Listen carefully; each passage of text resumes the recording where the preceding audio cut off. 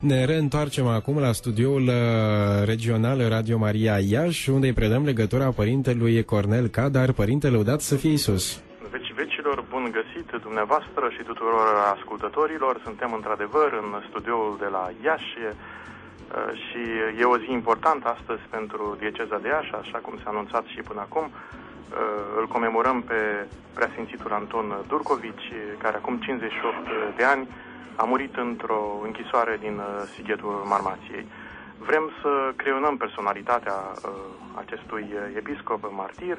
Alături de mine sunt profesor dr. Dănuț Doboș și domnul Eduard Lisakovski. Împreună cu dumnealor vom uh, creiona, așa cum am spus, uh, personalitatea uh, episcopului Anton Durcovici. De altfel, diseară, la ora 18, va fi o liturghie comemorativă în Catedrala Adormirea Maicii Domnului, o liturghie care va fi transmisă și pe undele uh, Radio Maria, uh, celebrată de preasfințitul Petru Gherghel. Vor participa mai mulți uh, uh, episcop și mai mulți oaspeți, pentru că, iată, în aceste zile la Iași, uh, mai precis la Institutul Teologic din Iași, uh, are loc uh, un simpozion internațional uh, tocmai despre uh, rezistența în timpul comunismului, în care se vorbește de uh, martirii care au fost uh, în anii comunismului și persecuțiile care au avut loc, sunt oaspeți din Bulgaria, din Ceoslovacia, din Republica Moldova, Uh, în general din uh, țările uh, foste comuniste. Așadar, ne întoarcem la preasfințitul Anton Durcovici. Am vrea mai întâi, domnul profesor Dănuț Doboș, să creionați câteva date istorice, biografice cu privire la viața acestui episcop. Când s-a născut, unde s-a născut, cum de a ajuns în România, câteva date. Mulțumesc de întrebare. Ar trebui spus că anul acesta comemorăm nu numai 58 de ani de la moartea episcopului Durcovici, dar și un jubileu la fel de important, o comemorare la fel de importantă, 60 de ani de la arestarea sa. Și eu aș insista puțin pe acest lucru, deoarece uh, cele mai recente cercetări, uh, cercetări uh, arhivistice și documentare uh, relevă faptul că regimul comunist uh, a avut un plan uh, metodic în 1949 de a-l uh, aresta pe episcopul Durcovici împreună cu ceilalți episcopi nearestați la data respectivă. Mă refer aici la ședințe secrete ale liderilor Partidului Muncitoresc Român, care în, în mai 1949, în care s-a decis soarta acestor episcopi, de altfel Gheorghe Gheorghe Udej, la respectiva ședință a și dat ordinul uh, șefilor securității de a fi ajutat uh, în arestarea acestor capi. La numai o lună de la această sinistră ședință, uh, episcopul Marton Aron de la Alba Iulia era arestat, iar la 26 iunie 1949 cădea victima aceluiași plan diabolic și episcopul de Iași Anton Durcovici nu a avut uh, parte de un proces pentru că securitatea nu a reușit să încropească un dosar de urmărire penală, motiv pentru care a fost uh, judecat în lipsă de o faimoasă comisie administrativă a Ministerului de Interne, uh, formată din trei generali, Alexandru Mazuru, Ale, Chișinevski și Gheorghe Pintilie, care a decis internarea episcopului Durgovici eh, pentru câteva luni eh, într-o colonie de muncă. De fapt, el a fost internat în colonia de muncă Dunăre, care era denumirea secretă a închisorii de la Sighetul Marmației. Episcopul eh, a fost transportat aici în luna septembrie 1951, iar două luni mai târziu murea în condiții dramatice, Uh, primul rând primul fomentare, dar a fost uh, asupra lui a fost uh, s-au făcut și s-a experimentat un alt sistem diabolic, a fost ținut în, în, într-o cameră neîncălzită și neizolată, adică în frig, și nu, episcopul nu avea cum să reziste acestui sistem uh, de persecuție. A murit în, uh, la 10 decembrie 1951. Uh, știm că șeful echipei de muncitori deținuți care lucra în penitenciar, e vorba de părinte Daniel Micloș Berinde, l-a preluat, a preluat trupul episcopului, tot, acest, tot această echipă i-a și încropit un sicriu din lemn, iar episcopul a fost depus apoi într-un loc secret din cimitirul uh, orășenesc, uh, uh, loc care a rămas secret până în zilele noastre. Cu toate eforturile care s-au făcut în ultimii 10 ani mai ales de către preasfințitul Petru Gergel, acest loc nu a fost depistat și este posibil ca din cauza compoziției chimice de la Siget osemintele să uh, Uh, se fi descompus la ora actuală. Deci e posibil să fie în oricare dintre uh, cimitirele din Sighetul Marmar? Este posibil să fie în oricare. Inclusiv în... în uh, cimitirul săracilor. Dar toate, toate indiciile documentare și memorialistice indică cimitirul orășenesc ca locul probabil unde a fost depus trupul nesufletit al episcopului Durcovici în noapte de 10 spre 11 decembrie 1951, adică exact acum 58 de ani. De altfel există o mărturie, iată vreau să o citez, spre mezul nopții un, scru, un trup scheletic dezbrăcat, plin de răni și sânge, a fost aruncat într-o celulă unde se mai aflau 15 suflete chinuite. În fața acestei scene, părintele Friedrich s-a revrezit cu o pătură și l-a acoperit. Din cauza durerilor și a gerului, episcopul Durcovici n-a putut dormi și în acea noapte a mai găsit tăria să încurajeze pe sărmanii deținuți, zicându-le duceți crucea Mântuitorului, care s-a răstignit pentru păcatele noastre, căci va veni ziua învierii și pentru mult încercatul popor român. A fost apoi luat și dus într-o celulă singur, unde a murit la 10 decembrie 1951. Uh, interesante sunt aceste cuvinte uh, și puterea uh, episcopului de a încuraja pe ceilalți de acolo, duceți crucea Mântuitorului care s-a răstignit pentru păcatele noastre, căci va veni ziua învierii și pentru Uh, poporul român. Aș vrea să mai adaug, dacă se poate, faptul că tot recentele cercetări uh, arheologice, în special în arhivele uh, foste securități, indică faptul că episcopul a purtat în gând amintirea diecezei de Iași a credincioșilor din Iași, că el a rămas optimist că se va elibera la un moment dat.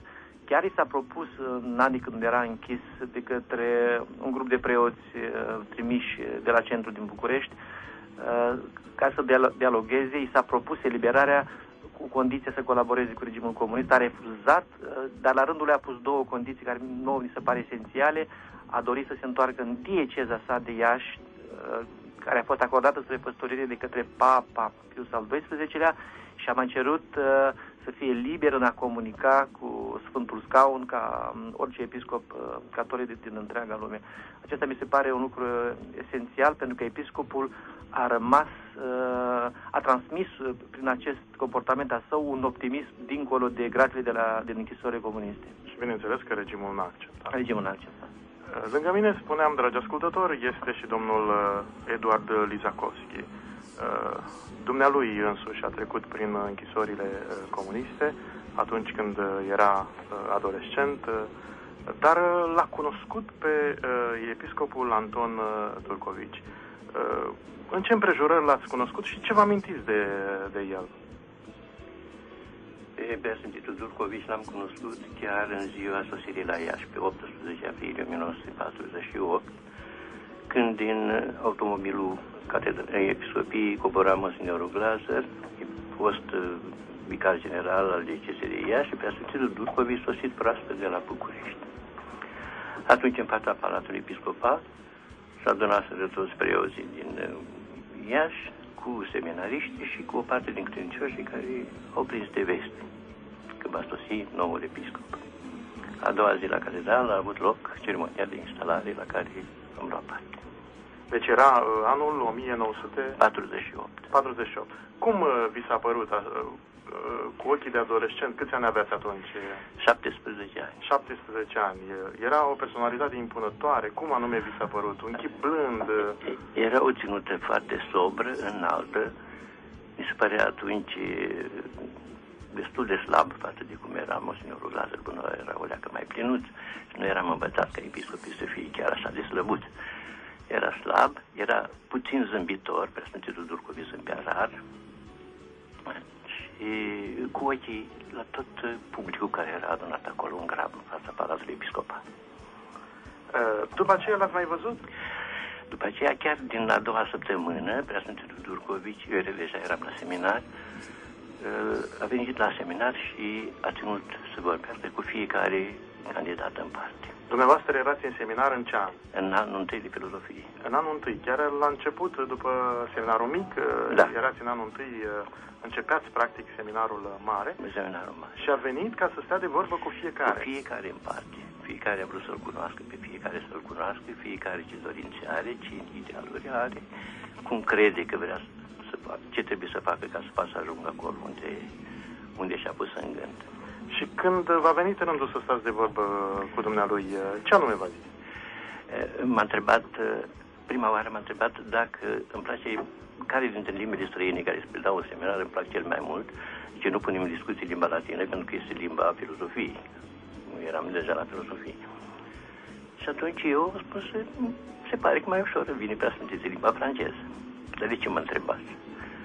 Am să spun. Și mi-a spus a doua zi. A doua zi a venit cu o lădiță de cărți și a dat fiecăruia, după limba care a spus cu îi place mai mult, da? Și a dat fiecăruia, n-a uitat de nimeni. Câte o carte. Câte o carte, câte ceva care, care să citească și eventual la nevoie să facem schimb între noi. Dar ceea ce este foarte interesant, că de la acea dată, noi eram în seminar tineri, adică cei de la filozofie eram vreo 23, de la teologie erau vreo 18-20, destul de mulți. Ei, din ziua aceea la toți ne-a spus pe nume. A reținut numele fiecăruia în parte. Dumneavoastră, deci, v-a dat uh, în limba franceză. În limba franceză, da. Dar n-ați mai păstrat cartea sau s-a pierdut? uh? Nu. Cartea a fost volumul 1 din uh, Viața Mântuitorului Iisus, care, când am intrat în seminarul de la Iași, am preluat seminarului, la Copo. Deci, cum îl descrieți, dumneavoastră era o persoană apropiată de Foarte, studenți, de foarte oameni. apropiat. Și să vă spun de ce e apropiată, că la examenul de sfârșit de an al anului tăi de, de filozofie, a ținut să iei facă parte din comisii, chiar era președintele comisii. Sigur că examinator era Părintele Vasile Gabor, care era profesorul de filozofie, dar intervenea destul de des cu întrebări suplimentare, nu pentru ca să, încurce, să ne încurce, dar ca să aibă motiv să facă noi preduatii și să explice, explice și mai tare și mai profund fiecare înțeles în parte. Atunci l-am văzut zâmbind, nu pentru greșelile de silogisme sau ce făceam noi atunci, dar la greșelile de limbă zâmbea. Zâmbea. Ne vom întoarce la mărturia dumneavoastră, care este foarte interesantă. Venim la domnul profesor Dănuț Doboș, care, vă spuneam, dragi ascultători, este în studio alături de noi. Vorbim uh, astăzi despre preasfințitul Anton Durcovici, sunt 58 de ani de la uh, moartea sa. Uh, a fost numit episcop al diecezei de Iași la 30 octombrie 1947. 47, da. Uh, în ce împrejurări a fost numit episcop? Deci dieceza de Iași era liber din 1944 de când uh, episcopul uh, Mihai, uh, Gabă, Mihai, Mihai uh, Glaser. Mihai Robu, Mihai Robu. Mihai Robu decedase la Beiuș.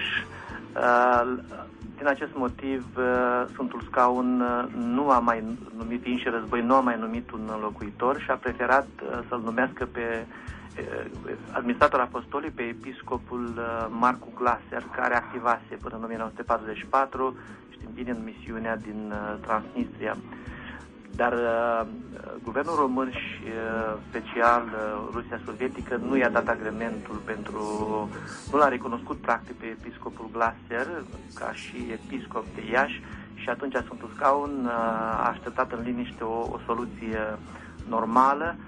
Aceasta s-a evit în 1947, atunci când episcopul, când rectorul seminarului și Academiei Teologice Sfântul Duh din București a fost numit episcop de Iași, în condiții uh, care nu erau deloc uh, auspicabile. Uh, Comuniștii puneau mâna pe, pe, pe România, Uh, episcopul știa la ce se așteaptă în Moldova, Uh, el era, uh, provenea uh, dintr-o zonă a țării, o zonă catolică a țării care nu era care era puțin conformă cu, cu Moldova, unde comunitățile sunt mai mult sătești, dar a acceptat aceste provocări și uh, uh, în octombrie 1947 este numit episcop de Iași. Nu a putut să fie înscăunat și să fie intronizat la Iași, deoarece guvernul Petru Groza i-a întârziat în mod uh, premeditat numirea.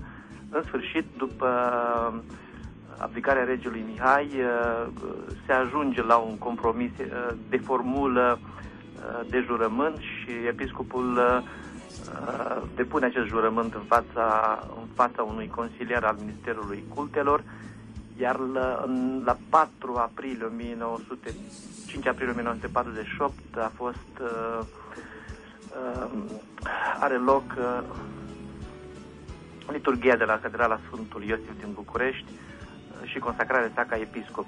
Câteva zile mai târziu vine la Iași pentru a lua în primire episcopia, iar despre acest entuziasm bănuiesc că domnul Izakovski poate să ne vorbească mai multe pentru că a fost martor acestor evenimente, cum l-a primit uh, populația, uh, preoții, în general, care a fost atmosfera? Deja ne-a spus că l-a văzut prima dată atunci când a coborât, când a coborât din automobil. Din automobil, venind uh, la Iași ca să fie instalat și să ia în primire, cu alte cuvinte, uh, diecezat.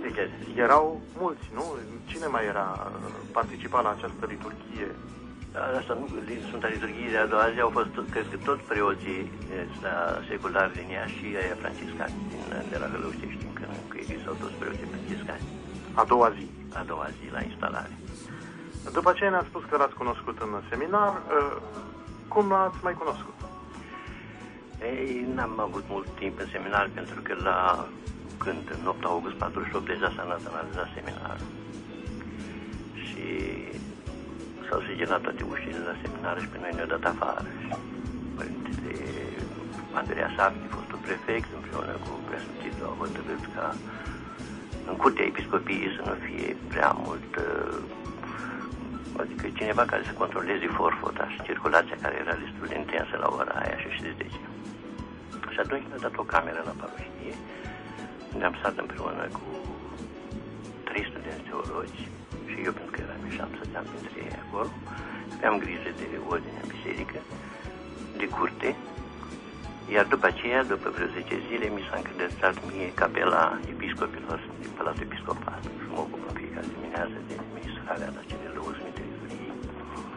de ordine, de curățenie, de încălzire, de tot ce trebuia. Și începând deci de la data asta, de la 20 august 48, până la data arestării mele, care a avut loc la 2 mai 49, zi de zi, zi de zi, am stat lângă amândoi episcopi la Iași ca ministrant. Ați slujit la liturghie? La fiecare, sunt liturghii în fiecare zi. Celebra în uh, capela... În capela personală, da. Vinea dimineața la ora 5 jumătate pe cea preasfințitul Turcovici și după ce termina, începea rugă, la care totdeauna preasfințitul Turcovici asista. Îl vedeați marcat, era totuși vremea comunismului, comuniștii și arătau deja colții. Tot timpul îngândurat, iar părintele secretar, când Iacob Ferenț, care avea birou alături, îmi spunea, astăzi iar e supărat preasfințitul, iar astăzi iar e supărat preasfințitul. Aproape în fiecare zi îmi spunea la Probabil că afla de arestarea Deja a început da, da. preoților, de șicanele uh, comuniștilor. Da. Uh, apoi, deci l-ați văzut uh, ultima dată când? Pe data din 1 mai dimineață 1949 la Sfânta Liturghie, pe 2 mai n-am mai apucat, că noaptea m-a arestat. V-a arestat noaptea? Da. De altfel, de altfel după 2 mai, episcopul a început ultima sa vizită canonică în Oltenia și n-am mai apucat să, să revină în Iași pentru că, așa cum știți, la 26 iunie 1949 a fost arestat în apropiere Bucureștiului. Episcopul se îndrepta spre localitatea Popeșile Ordene, acolo unde peste 700 de copii și tineri îl așteptau pentru a primi uh, sacramentul mirului. Deci el, practic, simbolic, uh, și-a trăit uh, în libertate ultimele zile, ultimele luni din viață în dieceza unde a activat peste 40 de ani și n-a mai putut să, să revină în, țară, în, în Moldova, în Iași. De altfel, este, este, este important faptul că securitatea a avut un plan de rezervă de a-l aresta în, în, în Moldova, dar a preferat varianta arhideceza de București pentru ca episcopul să nu fie lângă credincioșii săi, pentru că exista temerea că satele și comunitățile nu vor accepta cu ușurință arestarea și că vor, îl vor apăra așa cum s-a întâmplat la Butea. La Butea și în alte localități, Paravan, Prăjești, Luizica Lugăra și în alte localități uh, romano-catolice. Deci episcopul și-a trăit uh, ultimele luni libertate în uh, arhidecizia de București. Cum se face, domn profesor, că dumneavoastră spuneți că a făcut uh, vizită în Oltenia, dacă el era numit episcop de Iași? Uh, este, foarte, este foarte simplu. În, uh, în ianuarie 1949, Sfântul Scaun l-a numit administrator apostolic de București, retrăgându-l pe arhiepiscopul Cisar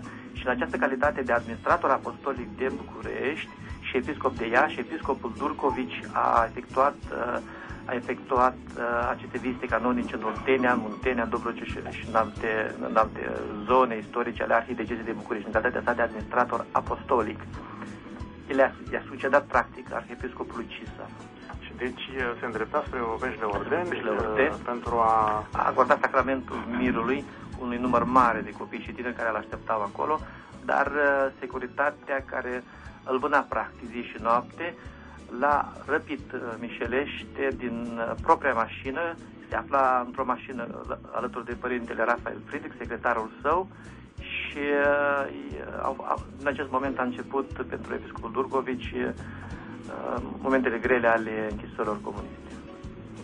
De precizat că părintele Rafael Friedrich a dorit să-l apere, a primit o rang în cap după mărturiile uh, unor uh, oameni. Și este posibil ca moartea sa, ca moartea. moartea sa uh, întâmplată în 1949 să, să fi fost cauzată de această lovitură puternică de rangă pe care a primit-o de la, de la ofițer de securitate în acea perioadă.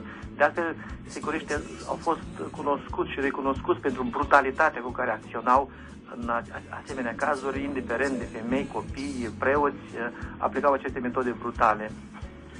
Deci a fost arestat după ce au urmat cercetările. Există vreun document care să ateste uh, că a fost o judecată, a fost o condamnare? Nu, așa cum v-am spus, episcopul Durcovici a fost arestat la 26 iunie 1949, a fost imediat uh, internat în arestul central al Ministerului de Interne din București, supus unor anchete dure, dar uh, după luni de zile în care uh, securitatea l-a închetat, nu s-a descoperit practic nicio probă juridică sau cu valoare juridică care să-l poată trimite chiar și în fața unui tribunal farsă. În acel moment, el a fost depus la Jilava în așteptare, în conservare, cum se spune, și pentru că securitatea n-a reușit să încropească un dosar de urmărire penală. În aceste condiții, regimul comunist a apelat la acele faimoase, acea faimoasă comisie care a mai pomenit-o cu cu acei generali pe, pe care pe unii am uh, greșit. Era vorba de generalul Alexandru Mazuru uh, și Gheorghe Pintilie, uh, Bodnarencu. Erau de fapt generali și consilieri sovietici. Aceștia trimiteau la închisoare administrativă în absență, în special persoanele care nu erau pasibile de o condamnare penală acestei comisii a căzut pradă, i-a fost victimă practic și episcopul Durcovici, ca, iar în urma deciziei de condamnare administrativă, el a fost depus la Sighetul Marmației. De la Jilava? De la Jilava a fost adus la, la Sighet. La, la Sighet cam cât a stat? Din uh, 10 septembrie 1951 până în 10 decembrie 1951, deci 3 luni. Am în fața mea o declarație făcută de preasfințitul uh, Durcovici, uh, probabil în perioada asta a cercetărilor, după ce a fost uh, arestat în drum spre Covești de Ordeni. Iată ce spune și creonează în același timp cumva personalitatea dânsului. De la început și până în ziua arestării mele, am căutat să îndeplinesc îndatoririle mele religioase de episcop catolic și am înlăturat din fapte și cuvintele mele orice politică, având drept scop de a călăuzi clerul și credincioșii catolici pe drumul mântuirii sufletelor, îndrumându-i în credința lor uh, religioasă. Este de altfel una dintre declarațiile uh, date de Episcopul Durcovici în arestul securității din București. Uh, sunt mai multe declarații, așa cum am, am, am mai spus, uh, securitatea a încercat să-i încropească un dosar. În acest dosar sunt declarațiile sale, peste 18 la număr, sunt notele de control ale ofițerilor de securitate, notele informatorilor, alte documente de stare civilă, dar acest dosar a fost considerat ca insuficient pentru a fi trimis în fața instanței și uh, a fost închis. În urma închiderii uh, a urmat pentru episcop Durcovici uh, perioada închiderii administrative, de care au suferit și au avut parte zeci de preoți și alți episcopi și poate zeci de mii de români. Să mai spunem că uh, atunci când a fost ales episcop, ca orice episcop, își alege un, uh, un fel de moto, de deviză, care devine un program al vieții, iar uh, episcopul Durgovici a ales textul unui psalm care spune Fericit poporul al cărui Dumnezeu este Domnul. Ne întoarcem la domnul Lizakovski. Câți ani de închisoare ați făcut dumneavoastră? Doi. Doi ani de închisoare. Doi, da. Aveați atunci când v-au arestat câți ani? 17 ani și am ieșit la 19. Practic, deci în plină tinerețe, da. când intrați mai mult în viață, atunci și când, v-au... și când m-a lovit cel mai tare. V-au frânt aripile. Nu numai ca teroarea asta fizică, bătăi și nu știu ce care au fost de la din mai până în jurul 20 august. Am fost în anchetă noapte de noapte. După aceea m-au lăsat de anchetă, n-am mai fost bătut, n-am mai fost nimic până la eliberare. Dar în schimb m-au zruncinat. Astăzi îl comemorăm pe Anton Dorcovici. Gândindu-vă la ce a fost înainte, la figura acestui episcop care a murit în închisoare, i-ați iertat pe toți aceștia care... Da, fără discuții, fără discuții, părinții. Am iertat pe toți pentru că erau vânduți și vânduți din prip, așa, pentru că bunoară în uh, mai 1949, când am fost arestat, am găsit printre torționarii de la Iași, de securitate de la Iași, trecători din Iași, care la ei aveau anumite asta ocupații. Bunoară, la închete era un oarecare măcelar din hala centrală, care știa foarte bine că luam de la el carne, mă ziceam cum mama s-au cutat. Acum era anchetator, bătăuș acolo. Era Manuel Leverman, care era, era cunoscut în Iași ca... Era Blehan. Ce, ce, ce ea? Ce ea? Ce ea era comandantul, da. Pandele? Pandele, da. E, ăștia erau cunoștințe care acum ne tortureau și ne băteau Săgeanu, care acum ne băteau și ne torturau în halul ăsta. Și mi-am dat seama că sunt vânduți sau cumpărați pentru nimic altă și n-are rost să-i mai pot ceva ură. M-am întâlnit după eliberare, m-am întâlnit cu mulți din ei pe stradă, atât am făcut, nu i-am salutat și nici n-am trecut pe celălalt trotuar, am trecut pe lângă și ca pe stâncă de piatră. Vreau să mai adaug și eu, pe, spunând că înainte de a ierta, noi trebuie să cunoaștem și oricum nu putem să iertăm în numele acelor persoane care, care au suferit aceste atrocități, așa cum le povestește și domnul Zakovski. Deci avem obligația mai întâi să cunoaștem și ca să putem ierta. Oricum noi nu putem ierta în numele celor care au suferit. Cu siguranță că așa este și este important să, cum spuneți dumneavoastră, să știm adevărul, cum au stat lucrurile. Ne întoarcem la domnul Eduard Lizakovski. Deci spuneam că astăzi e o zi importantă, îl comemorăm pe Anton Durgovici. Privind la viața lui, cunoscându-l uh, și stând de vorbă cu, cu el, uh, ce apreciați mai mult? Am apreciat cel mai mult și încă îmi rămâne și mi-a rămas în suflet uh, celebrarea Sfintei Liturghii a Monsignorului Durcovici. Era o revelație să asiști la o Sfântă Liturghie. Nu vorbesc de cea publică, pontificală, în catedrală, cu pompă, cu tenută, cu trenă, cu nu știu ce. Aici, în capelă, în securitatea capelei. Recita rugăciunii cu atâta, cu atâta convingere, cu atâta iubire, cu atâta adorație, încât te dărâma. Ne-am spus și aici în revistă și nu-mi pare rău că am scris, mi-a plăcut să cred că această perioadă a fost pentru mine o lungă seară de joia mare. După care pentru mine nu mai, mai puțin, dacă trebuie să mai mult, a început drumul lung al crucii, care pentru Sfinția sa s-a terminat la Sighet. Te precizat că mărturia asta ați dat-o în revista da.